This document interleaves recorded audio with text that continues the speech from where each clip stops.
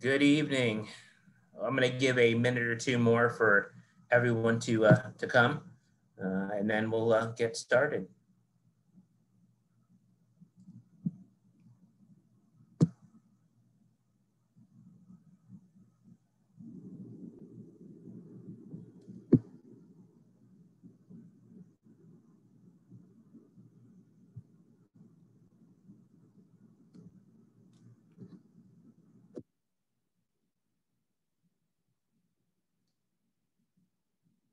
I want to first start off by thanking everybody for spending your time this evening with us at Argon Medical.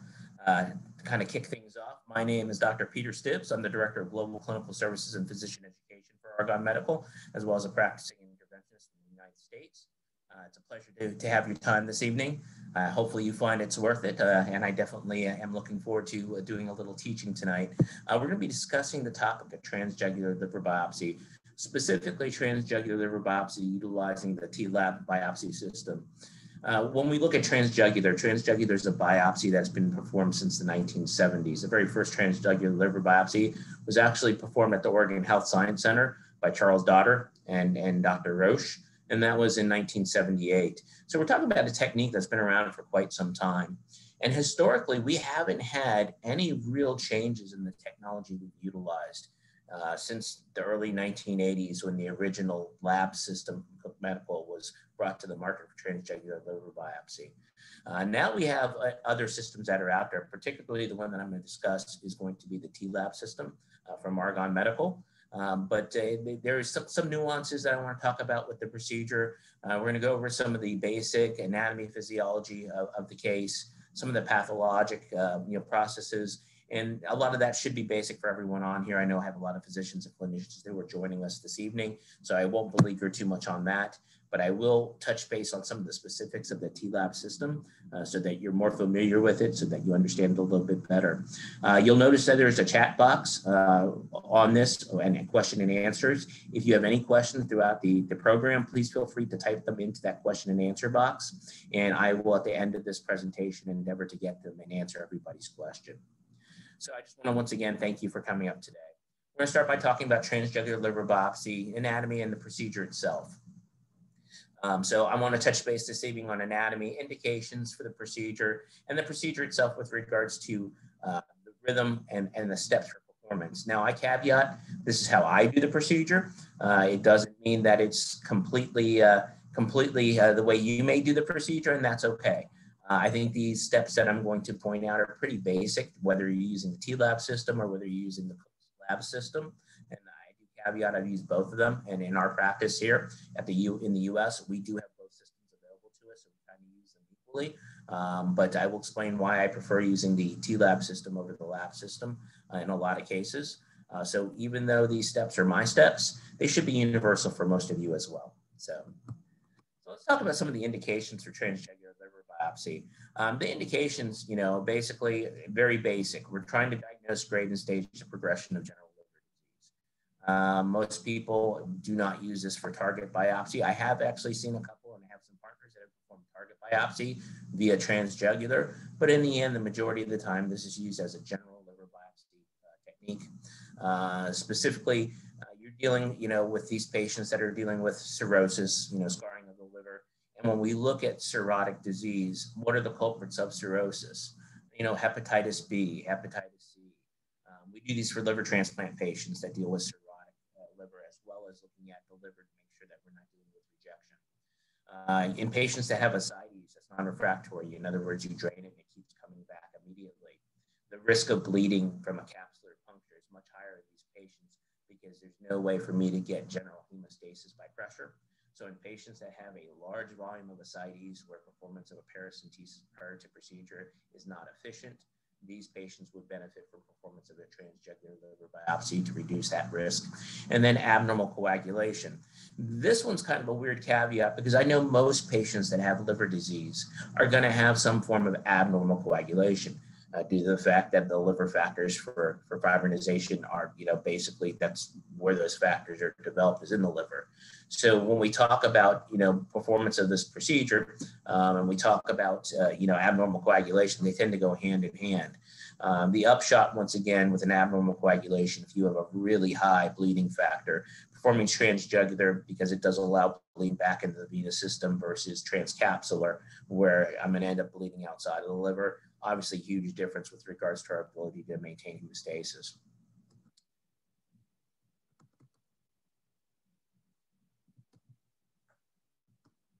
So what's our indication? Uh, you know, indication, like I said, I always say indication is relative because it's relative to you. In your practice, you might perform biopsies or perform a transjugular liver biopsy, and there might be some differences in why I would perform it on a different patient. But I tried to go over just some of the basic indications. I, I reference the Society of Interventional Radiology with regards to these indications that I'm going to cite right now. But every every place is a little bit different, and your indication for performance might be a little bit different, and that's okay. Um, so, you know, why do we perform transjugular coagulopathy issues, as I stated earlier, ascites, Budd-Chiari syndrome uh, is another uh, patient type of syndrome where, you know, you're having vascular anomaly. Uh, it's much easier to transect uh, a vascular plane you don't want to go through in a Budd-Chiari patient. Uh, going transjugular makes it for a safer biopsy. In massive obesity, when you're dealing with patients that you're dealing with a large pannus or a large distance between the liver organ and the external, uh, performing on a massive patient, you may be limited to the size of your biopsy needle. Biopsy needles only go so so long. Uh, the majority of them are the longest ones I've ever seen, or about 25 centimeters or 30 centimeters. So in a patient that is a very large patient, you may not be able to get to the liver uh, going, you know, percutaneously or going, you know, from external using you know, ultrasound.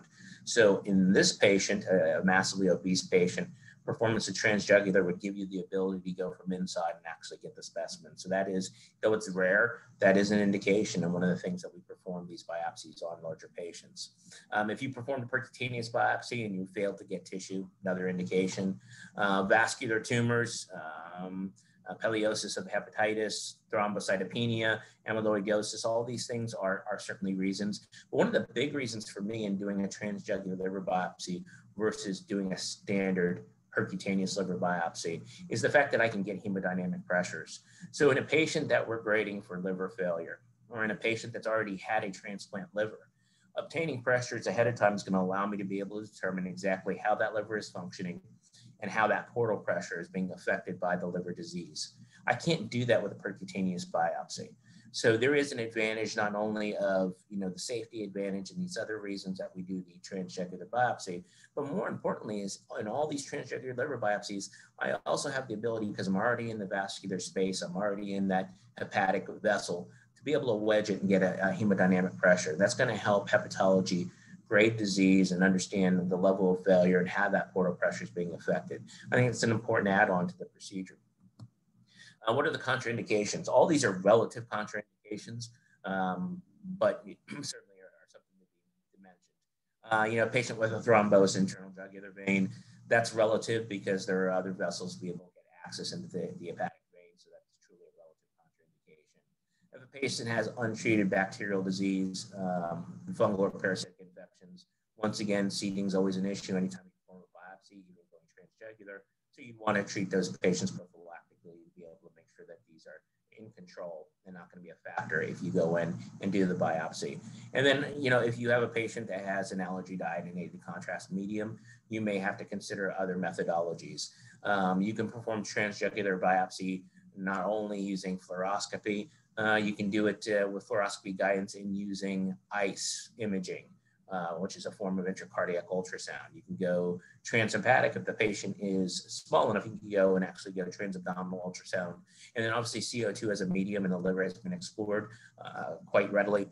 Uh, if you look up and refer to Dr. Dick Hawkins and his research in CO2 medium contrast in the liver, you'll see that there's plenty of cases of utilizing CO2 specifically, similar to how we do TIPS procedures. You can use CO2 to highlight the hepatic vein. It also fills through the the um, the uh, down through the uh, sinusoids and goes into the portal vein as well. So you really get a good understanding of the anatomy of the liver vascularity using CO2.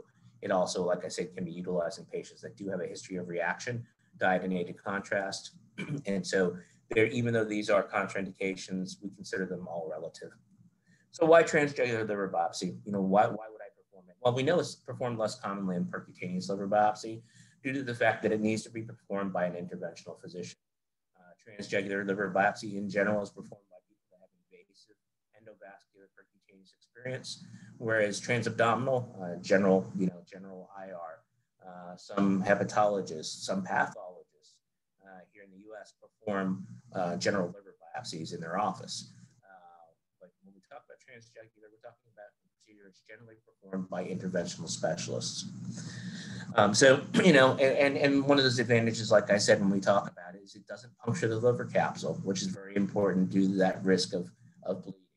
Uh, so in patients where you deal with coagulopathy issues, your main biopsy source in a coagulopathic patient should always be transjugular biopsy if it's possible, due to that mitigation of risk of. So we're just going to go through some of the basic steps. Um, like I said, this is how I do it. Uh, it doesn't mean it has to be how you do it. Everyone does it a little bit differently. Um, but what I generally do is I try to give the algorithm of step by step of how I would use this, this device, the TLAB device, and then we'll go over some of the specifics and some of the comparatives to the, uh, the Cook device. Uh, but what I generally do is I would gain access uh, going in with an 035 wire. You know, I'm going to go down and, and I take my catheter down into the IVC I know the ostium of the hepatic vein is. And I like to use an MPA catheter Any curved catheter will probably work for you. I know people who selectively use an RDC catheter or like to use a Cobra. Uh, an MPA just seems to have the, angulation or a Comfy, uh, seems to have the angulation that finds the ostium, of the hepatic vein easier for me.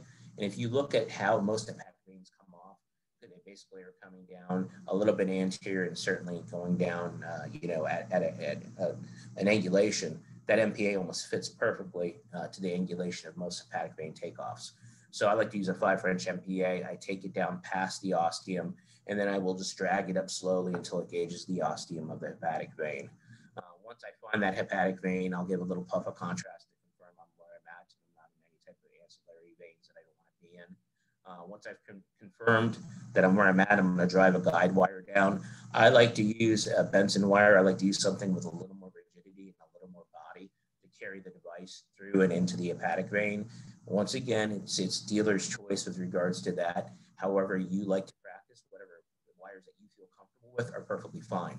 I know people like to use a stiff glide wire uh, when they transition into the hepatic vein. Uh, people that use the Bentson wire, or uh, you know, or Dawson, basically using a Mueller wire. Uh, it, it really is up to you. But I like something with a little bit of rigidity because if you think about it, I'm taking down a hard cannula. Uh, so that's a metallic internal cannula uh, that's in the cannula for performance that you place the biopsy device through. Uh, so transition that hard cannula, if I have a floppy wire, as I'm trying to drive it down into the right hepatic vein, what can happen is that it can pull the wire out, it'll buttress the wire out. But if I have something stiffer with more rigidity like a Amplatz wire, it won't do that uh, more readily. It'll follow that track down to the wire. So that's why I like to use a stiffer wire for this procedure. Um, so then we talk about the introduction of the device. I like to use, and, and everyone's a little bit different. I will put a nine French sheath uh, into the, the jugular vein and place that nine French in there. And then I will transition my seven French device through it. Everyone's a little bit different. I know people that will go in bare without a, a sheath in the jugular and actually go right in with the introducer sheath uh, for the biopsy set. It's whatever you feel comfortable with. Once again, I'm not trying to change your practice pattern. I'm just explaining why I do what I do and then explaining some of the nuances of this device. Uh, so what I will say is that uh, you can obviously go in, uh, I know people that will take an MPA sheath down. So they actually take a curve sheath down so they maintain the curve uh, for easier access in the hepatic vein. Uh, that being stated, whatever you want to do is fine uh, as long as you put a sheath in or you have access that can be maintained in the jugular. if you don't have a sheath in, you just have to be very careful that you always maintain your wire purchase into that into that right hepatic vein because if you pull it out, you're going to have some issues. You're going to have to go back in from with the MPA and try to reaccess.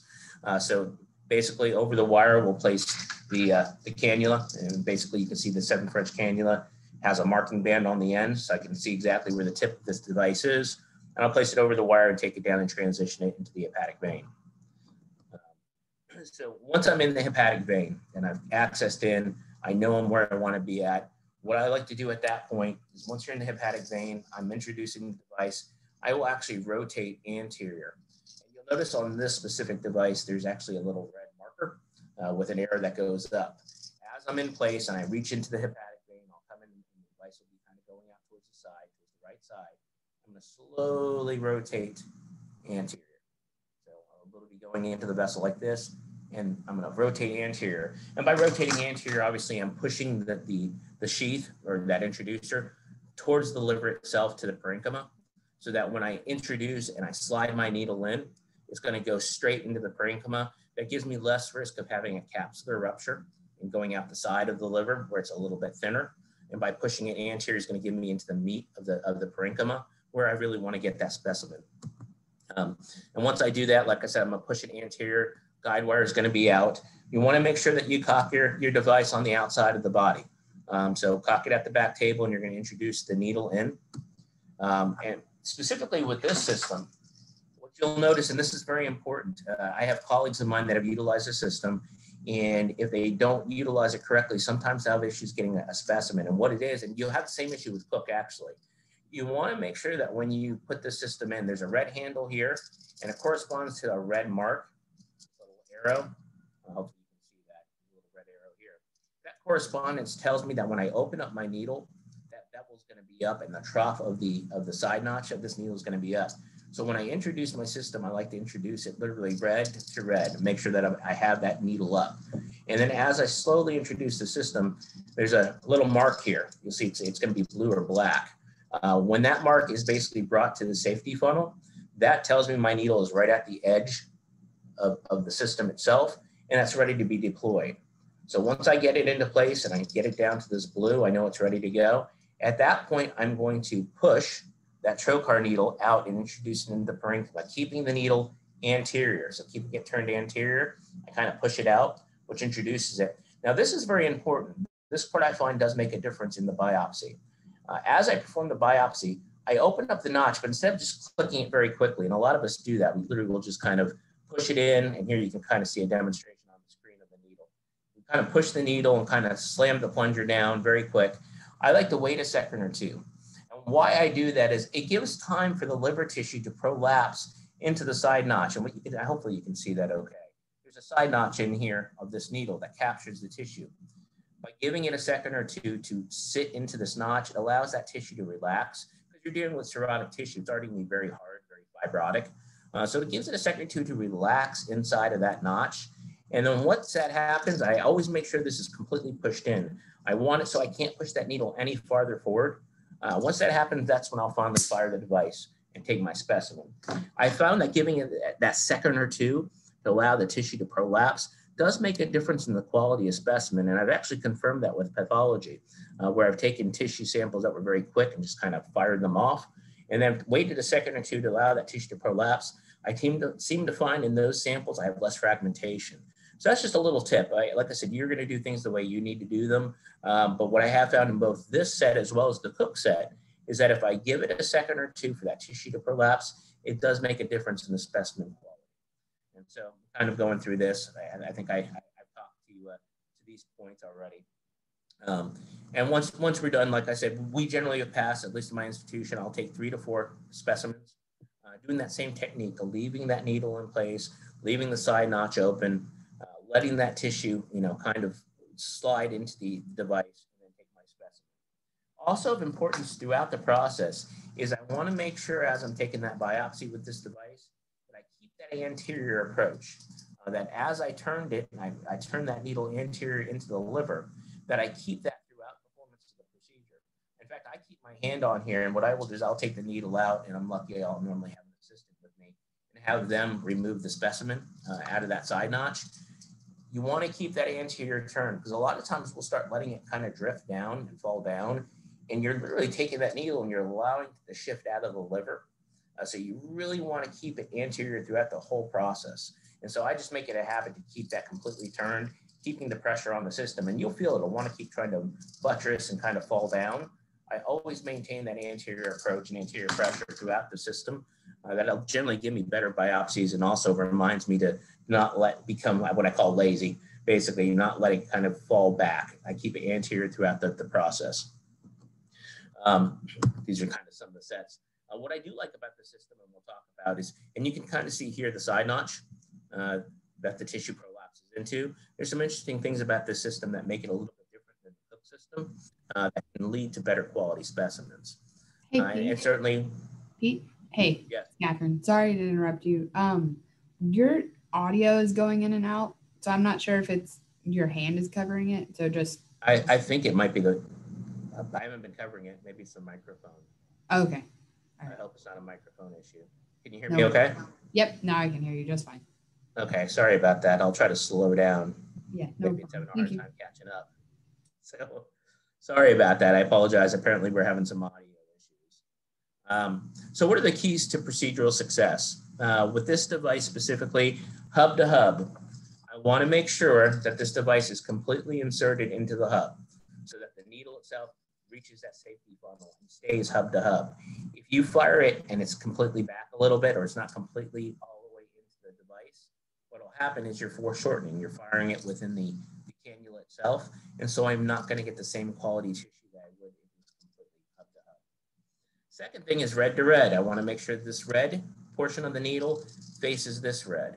That allows me to know that my needle is open. That's going to allow that tissue to prolapse into the, the needle itself. It's going to give me better specimen in the long term. And like I said, I've seen that anecdotally. Uh, I certainly, uh, I work very closely with our pathologists on all these samples. I want to make sure specimens are quality for them. And so I challenge you, if you're using the system, uh, talk to your pathologist, find out exactly what they think of the specimen uh, versus other devices you've used. I think you'll find that you're going to get better specimens utilizing that TLAB device. At least that's what I've experienced. And that's what a lot of us have seen. There's actually some clinical studies out there that support that. Uh, you don't want to bend the, the needle too too much. And what and I know we all bend it, and sometimes it's absolutely necessary to bend the shaft of the introducer uh, to be able to kind of meet that angulation to push the device out into the liver. But what can happen if you bend this too much and you put too much of an acute bend? You can place kind of a, a real acute bend in the middle of the shaft, and that puts a lot of pressure on this needle to be able to fire. And what it does is it introduces friction on the needle handle, which can actually prevent the needle from firing. So it's important that when you bend, I like to make a nice smooth bend. I don't kind of just take it and crank it. I will literally run my hand along it and slowly create the bend that I want to give it a little more angulation. Uh, but I, it's important that I go around the whole body of the device versus just taking and giving it a quick bend. Uh, because when you, like I said, when you do that, you'll, you'll find that you can break the shaft of the needle and also it'll add a lot of friction into the system. Uh, and then there's a safety funnel.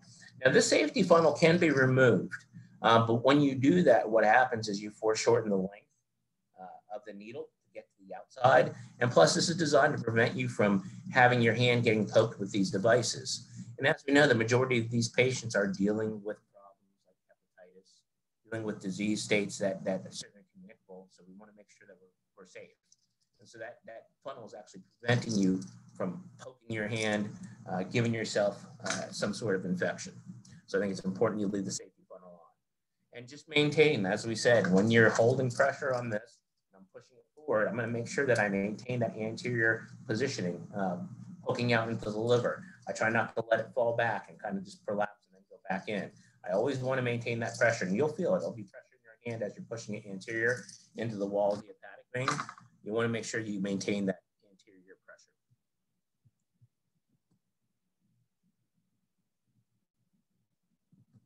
So we're going to go into, and I promise to get all your uh, your questions answered uh, at the end of this. Uh, once again, these are the advantages of performing a transjugular biopsy. Uh, I make sure I go in and I'll get pressures. Uh, most of the time when I'm doing this, I will just take an MPA catheter. I'll wedge the MPA in and get my pressures right through the MPA catheter in the hepatic vein. Uh, some people will actually go in, they'll use a balloon catheter and obstruct and get a true wedge. Um, both of them work well. I haven't seen much of a differentiation between using my MPA to get a pressure versus using a true balloon catheter.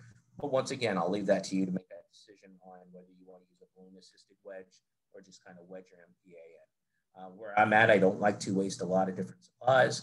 Uh, so I find that just using the MPA that comes with the set works well for me. Um, but if you want to use a balloon catheter and that's the way you're used to doing your wedge pressures, and that works as well. Um, so we're going to talk about the TLAB specifically. Uh, these are some of the features and benefits of this kit and what I find in comparison to Cook. And like I said, I've used both sets uh, in practice, uh, but this is the one that I kind of prefer, which is why I'm talking about it today. Um, you know, the kit comes complete. You, you have your needle in an 18 gauge or 19 gauge. The system itself is 65 centimeters. Uh, the device is 20 millimeter throw, and, and basically uh, you get a seven French sheath that comes with it. Um, it has a metal stiffener that allows you to be able to torque that device anterior. And it does come with these neat little swabs. These swabs actually uh, allow you to be able to remove your specimen without having fragmentation. Um, a lot of times we'll either try to wash it off in the formalin or we're sitting there at the back table, especially if the tissue is really soft. We'll be trying to uh, kind of push that tissue off the, uh, the, the the notch, the side notch, whereas these swabs actually will allow you to roll the tissue off gently and place them in your, your formalin without fragmentation. Um, these are some of the order numbers. So what's the differentiation between this device and the Cook device? What I find is the needle is a much more flexible needle. In dealing in cirrhotic tissue, I'm not dealing with normal healthy liver and sometimes that flexibility of the needle, especially when I'm trying to make really acute curves, because the disposition of the hepatic vein tends to change as that liver shrinks and it becomes cirrhotic. The ability to make your device flex into the hepatic vein and out into the parenchyma can be difficult. This device, device was designed with fenestrations around the needle to create a very flexible needle. Uh, it's a much more flexible needle, in my opinion, than the Cook alternative version. And that does allow to really make some acute angulations with this needle that you wouldn't be able to do in general with the standard metallic Cook needle um, because it just won't be able to bend. And, you can see in the bottom some images here. Uh, that's actually some of those fenestrations that allow you to be able to steer that needle. Um, so it really does help. Here you can see some of the touch points on this. Uh, it allows you to fire even in very tortuous. That's been my experience. Uh, it does have the safety funnel. It's a nice little add-on. It keeps your hands farther away from where you insert the needle into the hub of the sheath. So in these patients that have pathologic processes, most of the time hepatitis, uh, this reduces and cuts down hopefully on needle, on needle accidental needle sticks to the practitioner who's performing the biopsy. Um, so I think that's all important. Those are nice things to have that aren't currently on the Cook set. Um, the needle tip, more importantly to me, is a trocar tip. Uh, so if you did the comparison, uh, when you look at the Cook set, um, it is not, it's a bevel tip. The trocar tip was designed to push through cirrhotic tissue. I find in advancing this needle through really scarred tissue, really bad liver disease, seems a little bit easier to me. I get less uh, pushback, so it seems to migrate through the tissue easier than using a bevel style needle, which is uh, what the Cook set is, uh, where I end up getting what we call skiving, where it drops as I'm trying to push it down, it'll literally follow down. Uh, this will push true. So from going straight, that needle will push straight into the tissue versus actually dropping down. At least that's been my experience in utilization of this needle tip. Um, once again, it gives you that visual alignment. Uh, I think it's important when you use the device, you want to have that notch open and up so that tissue prolapse into it. Um, now, Cook is the same thing. When you introduce the Cook needle, you want to be able to have the needle where the bevel's up so that when the side notch opens up, the tissue just kind of falls into it and you're using gravity to aid that uh, but they don't really have a visualization. Um, you don't have any type of discoloration or visual markings to tell you when that is or which way the needle needs to be. Uh, this just gives you the kind of that visualization to allow you to be able to see that a little bit better. Um, and they have a radio opaque tip on the catheter, which I do like. Uh, on the Cook system, you do not have a radio opaque tip. So sometimes when I'm in the portal vein, it can be difficult to see where the tip of my catheter is beyond the metal uh, cannula. Uh, with this radio allows me to see specifically a lot easier as I'm kind of pushing the device into the hepatic vein. So for me, the visualization is optimized on this device in comparison to what I see with Cook. Um, uh, full notch exposure. Uh, basically, what you'll notice with this notch is that you don't have an overhang. Uh, now, on the Cook needle, there is a little bit of an overhang so that when you do take your biopsy, some of that tissue doesn't really, it's kind of a dead space. It's, it's a space it doesn't fill with tissue. That little bit of, of, of flat kind of no overhang allows the tissue to fill into that notch a little bit better, which also allows it to come out a little easier because I don't have to try to scrape something down underneath that overhang and try to peel the tissue back. Uh, without having the overhang, it allows the tissue to be able to slide off your needle just a little bit easier. Uh, and then these tissue removal swabs, I like them. They come in the kit. It makes it really easy to literally just roll them out and, and you get four of them. So we do four specimens. So I can literally just take that wash it right off in the formalin and go. Uh, it does prevent some of the, the fracturing of the specimen that you'll have if you're trying to get it off with a, a needle or if you're using a, a blade, uh, trying to kind of peel that off. Uh, really, and also in the kind of that really soft tissue. So does a good job of rolling them off and they come standard in that kit. Um, this marking band is nice because it will tell me basically when I look at this band, uh, when you're in the disposition that you see right there, uh, where the band is just meeting that safety funnel, uh, what you'll notice is that where this is and you have this mark, it basically will tell you right where the needle tip is at the end of your cannula. Uh, so when I have that needle disposition like this, I know that the needle's getting ready to push out.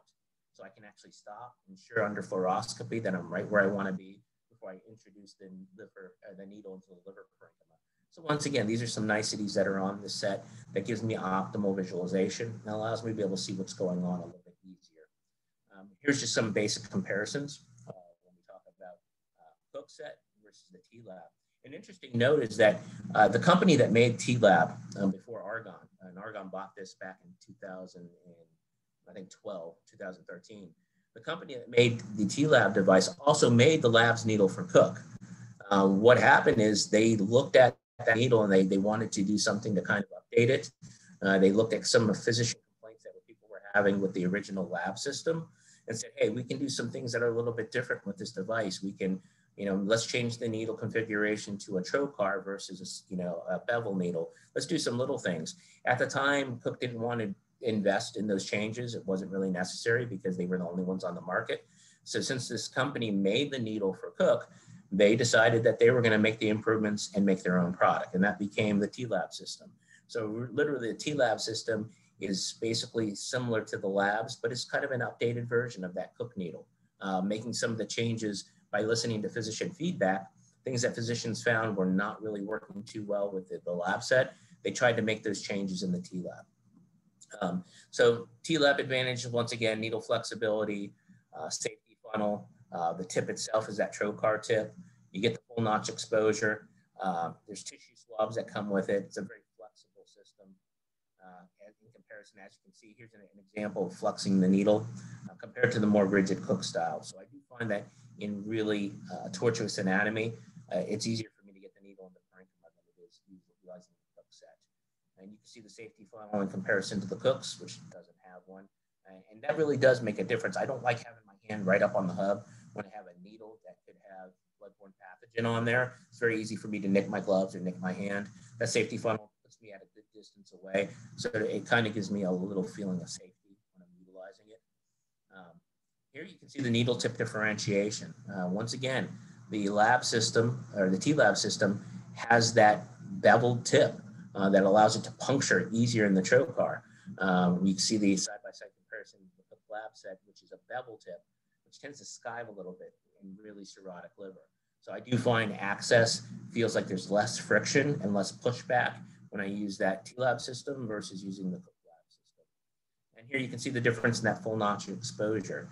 Uh, you have this little overhanging Cook that sometimes can hold tissue and kind of get it held up in here or won't have any tissue at all dead space. Uh, here you don't have that, so it's a little easier for you to be able to take your specimen out of the needle and allows that tissue to fill into that needle gap as well. Um, once again, radiopaque bands, so for optimization, they have a band on the Argon TLAB, the Cook's Lab does not. Uh, and, you know, it comes with those, those tissue swabs, which do make it nice. Um, kind of going through these, I think I touched base on all of this. Uh, clinical data, there's a great study out there, and there's a lot of porosity. We do a lot of things in medicine that aren't what we consider, uh, you know, scientific, uh, you know, expedient standards. And so we do a lot of procedures that there's not a whole lot of information on, especially older procedures. Something like transjugular liver biopsy has been around for a long time without any update in the equipment that we utilize. Uh, so when this new device, the TLAB system came out, uh, it was interesting that you know there was a couple studies that were done. This one was done at Rush University in Chicago, and Rush historically used a lot of uh, Cook devices, uh, but they decided to do a comparison between the Cook lab system and then this TLAB system to see if there truly is a difference. Um, like I said, both systems are utilized in the system uh, at the hospital. Uh, this was done by four IRs, all of them have a lot of experience in performing transjugular, and they all use the sets equally. So they would use the, the Cook set, and then the next set they would use would be the TLAB. And so all the different uh, interventionalists use these devices. And what's good about the results or interesting about the results, when you look at fragmentation rate, and this is, you know, fragmentation really does tell you usable tissue from unusable tissue. Uh, you know, Cook's system of fragmentation had 24.9% fragmentation, uh, whereas the, the TLAB only had 14.3. So less fragmentation with the TLAB. We look at portal tri- tracks, you know, CPTs, which is what we're trying to diagnose and what we need on our, our specimens anytime we do these biopsies. We look at CPTs, you're going to see that Argon uh, 12.2 plus you know, or minus 3.3 versus 10 plus or minus 4.6. So Argon TLAB actually had much more complete portal tracts in the specimens than the Cook set. Uh, and so when we look at adequacy for staging, which is the most important thing because that's what we're doing when we get these tissue samples, we're using them for staging and grading. Um, with the lab set is 42.7%, Argon had 58.4%. So you're talking about, you know, looking at tissue quality, looking at specimen quality, the TLAB had, was superior in this study in comparison to the Cook lab set. And then we looked at rate of diagnosis, 94.9% for Cook, and TLAB was 98.7. All the metrics you're trying to look at that you want to be able to see that how a device will function.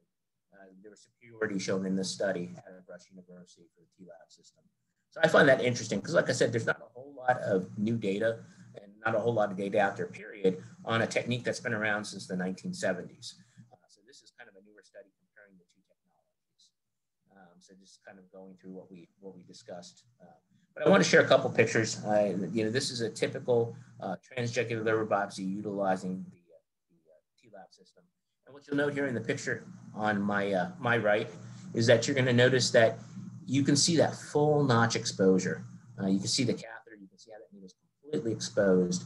When you have that Cook because of that overhang, sometimes you can't see that full exposure. Uh, in that case, you can.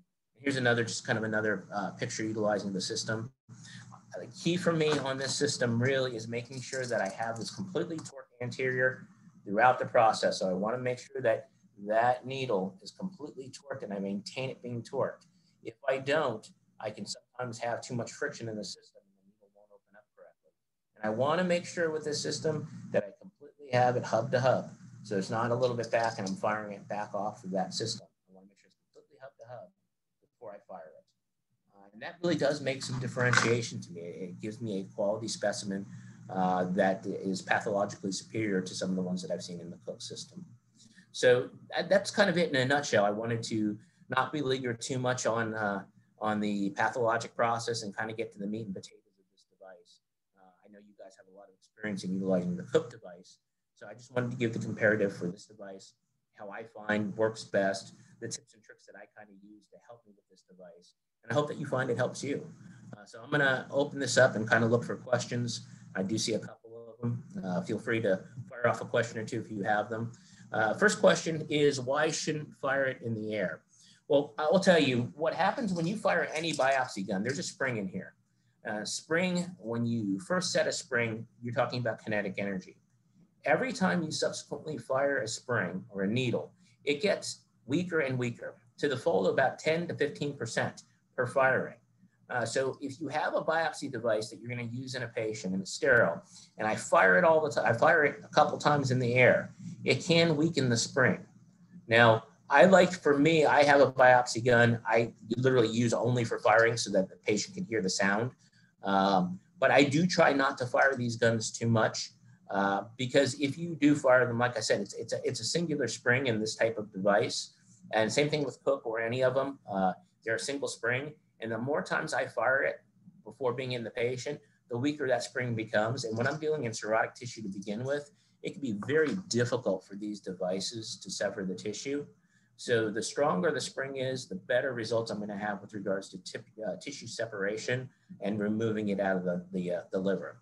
Um, DFU says do not test the wire Y. Uh, I'm assuming that's the same thing, Mr. Hans, that you're talking about uh, test firing it.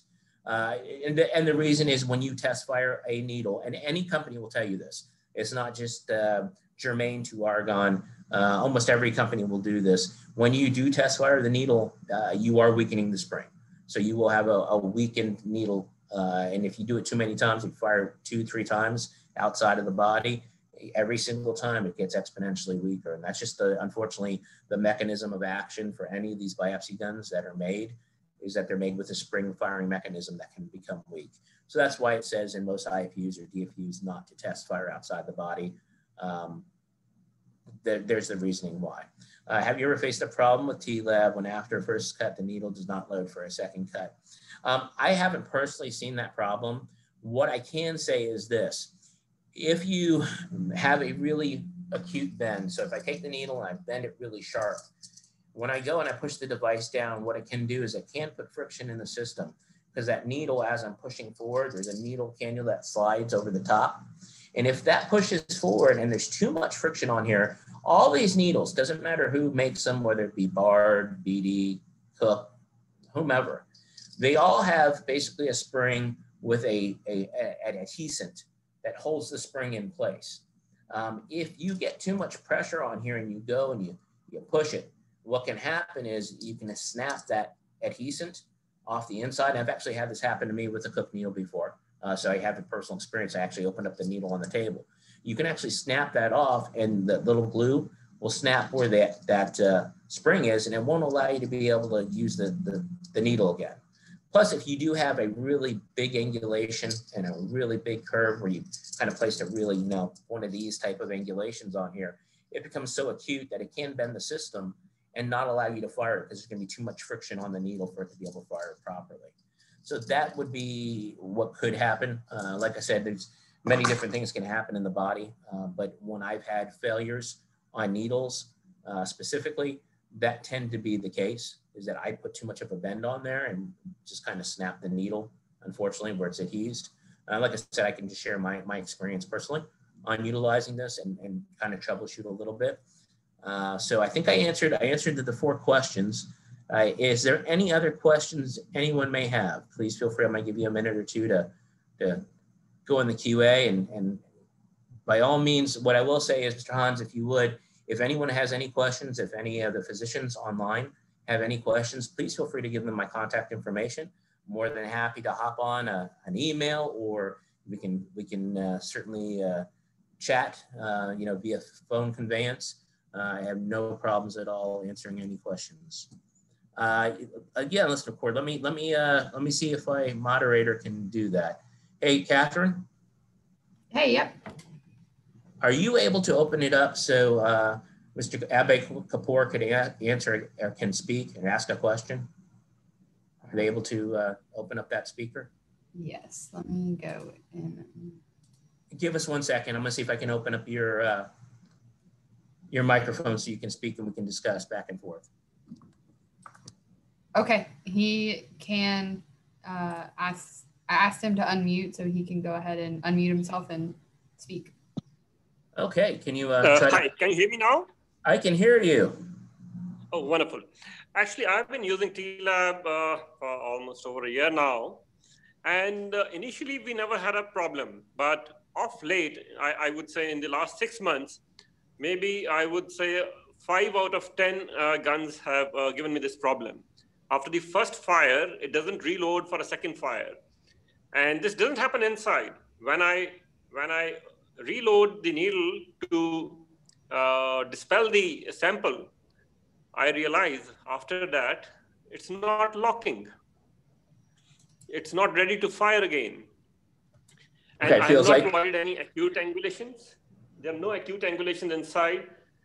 And at the same time, in the same angulation, if I've used a, a Cook needle it still gives me whatever number of samples I want. So this, there is something de novo about this particular gun, which is causing this problem. If it happened just once, I would understand, but I have encountered it multiple times. So and what would... I, I've never air fired it.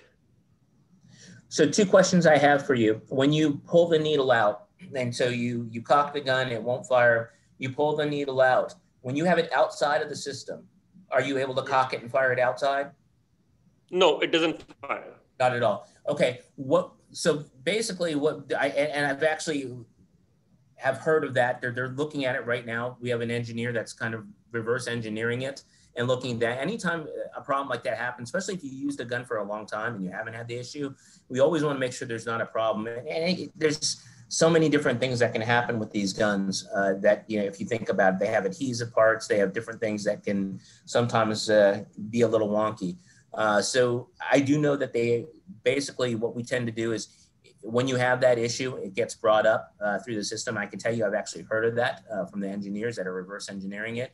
So we will try to get you a report on that, uh, Mr. Kapoor, and see exactly what the what the issue is. Um, but what tends to happen is a company needs to look at the device, completely reverse engineer it. So basically, when you send in a device that's not working, uh, medical device companies by law are required to address that and look at what the root cause of that failure is. And so they, I know they're currently working on that and trying to figure out what that root cause is. Um, so I wish I can give you, you know, based on just not being there and seeing the case, it's hard for me to say, well, maybe it could be this, maybe it could be that. Um, you telling me you didn't put a big bend in there, you know, and, and it was used properly and you've been using it for some time, it's hard for me to make a diagnosis on what that root cause for failure would be. Um, so I, I, I, will make sure I will follow up personally and make sure that uh, you get an answer with regards to uh, what the findings would be, if that's acceptable to you. That will be great, uh, and, and, it will be a big help because you know otherwise I'm very fond of TLAB set because of the easy maneuverability and the plastic coating which the cannula has. So in early post liver transplant patients, it's very easy to maneuver it into the freshly anastomosed right hepatic vein. Uh, but it's just because the problem which I'm facing with the biopsy needle that you know I'm now hesitant in using it. But I would love to come back to using it once this problem gets sorted out. Thank you so absolutely. much. Absolutely, absolutely, and thank you so much. You know, more than anything, I could tell you when you go from clinical practice and you go on the other side and you start working with a medical device company, it's interesting to see how these processes are worked through. Uh, and I didn't know that until I came over and started doing some consulting. Uh, to get involved in these processes and see how you reverse engineer things and how we answer when devices are not working. It's, it's interesting to see this side of it, uh, which I wasn't aware of uh, from just doing clinical practice. So I, I will personally make sure that you get someone reaching out to you to make sure that whatever answers we find from an engineering perspective are relayed to you. Absolutely. Thanks. Thank you. Any other questions uh, this evening? I, I, appreciate your time. Thank you so much. I never, never easy. You guys are taking time out of your practice, out of being with family, uh, to, to hop on this and, and spend some time uh, talking uh, TLAB and transjugular. So I just wanted to thank everybody uh, specifically for, for doing that and spending the time with us this evening. Uh, hopefully I gave you some tips and tricks that help. Uh, if you haven't tried the device, I hope you get a chance to get it in your hand and give it a try. It really is a, a neat uh, device uh, and, and, an upgrade, certainly in my opinion, from something that we've historically used since the 1980s without any change to the technology. Uh, so I really do hope that you guys get a chance to to get a chance to to look at that. And let me see they, they want the standalone needle. Is there any chance to get a standalone needle? I will bring that up to the, the management um, and the executive management team to see if that they could actually sell the needle separate. Uh, that's something to talk about. I, I, I, can't answer that question. I wish I could give you an answer about whether they can make the needle separate and just have the needle available but I will, I definitely will mention that that's been something that that has been feedback that uh, physicians would be interested in doing. That's kind of my job. I get to uh, bring all the questions that, that my colleagues have and bring them up to Argon and and, and uh, you know express what we think would be best uh, with regards to these devices. And so, what I will say is, anybody have any questions at all, please feel free to uh, reach out to Mr. Hans, uh, who's our representative in India. I'm more than happy to answer. Hop on a phone call with you we could FaceTime or do another ring meeting. Uh, I'm looking forward to getting back to India. Uh, I enjoyed the last trip I was over there and got to meet some of you, hopefully, and uh, hopefully we'll get to see you guys again soon. Uh, I miss the travel I miss seeing my colleagues, so it'll be nice to hopefully be able to do that. Um, anyway, thank you everybody. Uh, many blessings, and, and I appreciate you for, for hopping on this evening. Please go enjoy your evening, enjoy your family, and I look forward to seeing everybody soon. Please feel free to reach out. And Mr. Hans, give them my um, contact information to anybody that may want it. I'm more than happy to address anything personally. And like I said, I'm always always up for a phone call or or a FaceTime message. I appreciate you. Thank you, everybody.